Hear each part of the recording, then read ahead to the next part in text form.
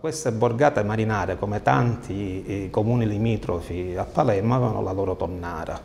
Infatti a Sant'Erasmo c'era una tonnara, all'Acquasanta, non proprio diciamo, tradizionalmente nelle, da, nella zona della spiaggia o della piazza, ma esattamente nel luogo dove adesso c'è l'ingresso dei cantieri navali c'era una tonnara, la tonnara San Giorgio, che tradizionalmente veniva considerata dall'Acquasanta ancorché, dell'Acquasanta ancorché ricadeva nella cosiddetta zona del Molo o del piano del Lucciardone. L'Arenella aveva la sua, la sua, tonnara, Vergine Maria aveva la sua tonnara, la Bordonara e Mondella aveva la sua tonnara.